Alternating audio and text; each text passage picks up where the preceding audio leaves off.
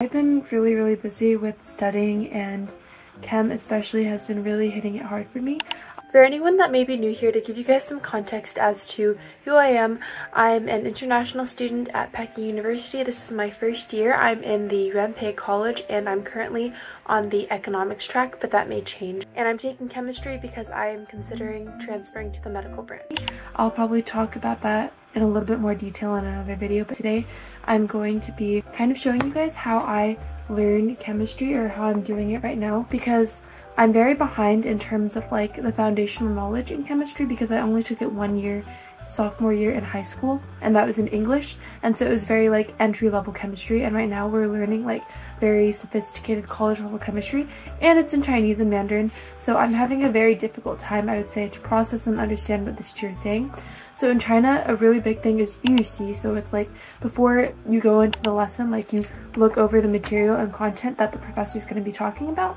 And so I'm trying to start doing that a little bit more. And for me especially, it's super important so that I can kind of like understand the material and translate everything that I need beforehand. But so I have three highlighters that I typically use in color. And so for like important key vocab terms, I highlight with pink. And then for any kind of like principles, I highlight in blue, and then any other additional detail information, it's like this yellow. And I have another set of like very similar matching base colors that I use when I'm not at home and I'm at school. So it's just kind of how I organize things, and here's my textbook. I'm sure I've shown you guys this in another video, um, in that one video where I talked about how my first week is going. So I have my textbook here, and then I have highlighters, pen, this is my planner, but that's besides the point. Right now, I think the strategy that I've adopted is I'm going, right now I'm reviewing um, chapter 5 because that's what we're going to be talking about tomorrow in class. And so I'm just going through and highlighting. As you can see, like previous chapters, I can show you kind of like the notes that I've made and like the highlights and like the translations and important things that I need to know. So I'm going over the acid base stuff right now because that's what we're going to be learning.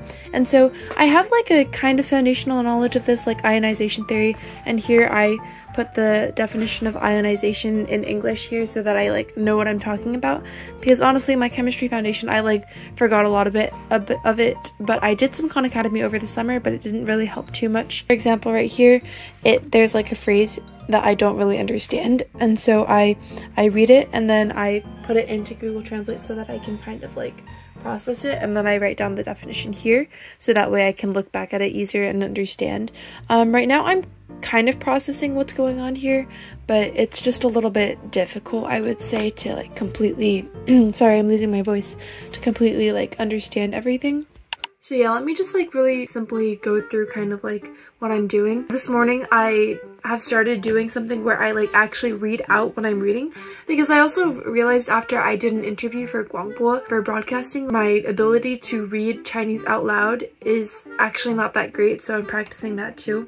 So like for this phrase, it's 溶液中酸碱反应的实质是 共轭酸碱对之间的质子转移过程, and that means essence of acid-base reaction in solution is proton transfer process between conjugate acid and base pairs. And so like I have that now, and then I wrote that down, and we're just going to keep going.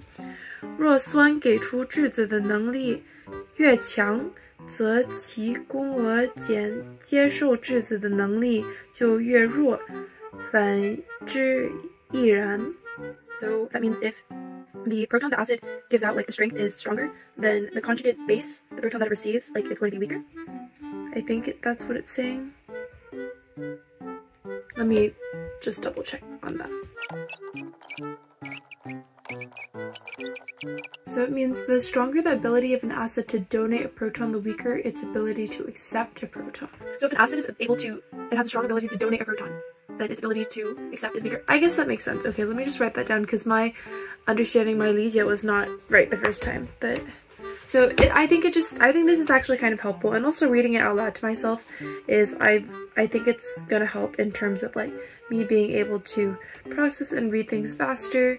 It's something that I literally started doing like half an hour ago, probably not even, but I guess I just wanted to share that little strategy. And so if anybody else, like an international student, I feel like even no matter what language, like if you're learning something that's not in your first language, it's always going to be very difficult, especially if it's like a sophisticated concept. So this is just like kind of a study strategy, I guess, that I might recommend. Of course, I'm still experimenting with this myself, so um, I recommend just like trying out what works for you. So if anybody that's an international student or considering studying abroad um, and learning in a different language, then this might be something I would recommend. And if you guys are interested in learning more study tips for learning a different language, um, please let me know and I will hopefully make some of those too.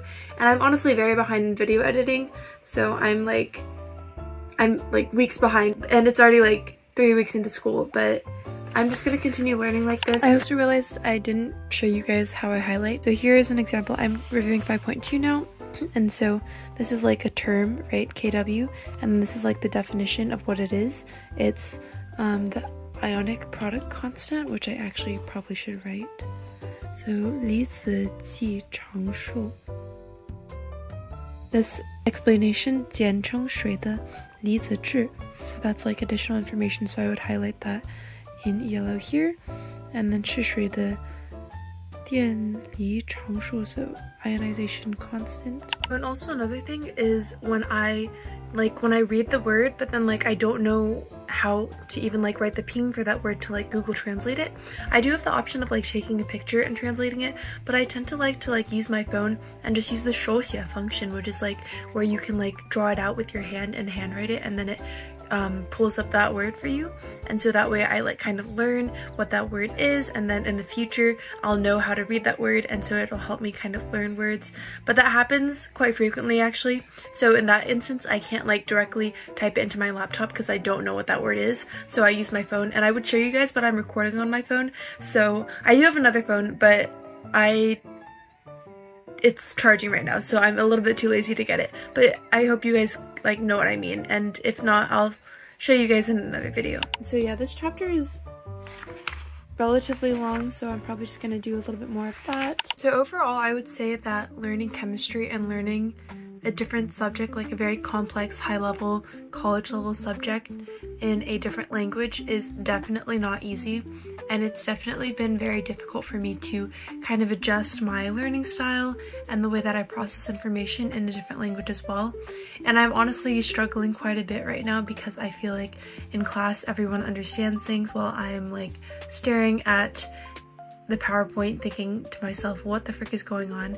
And it's just like, it's not the easiest feeling because I mean, I I've never been like the smartest person in the room, but I also have never been I've never felt so lost, I guess.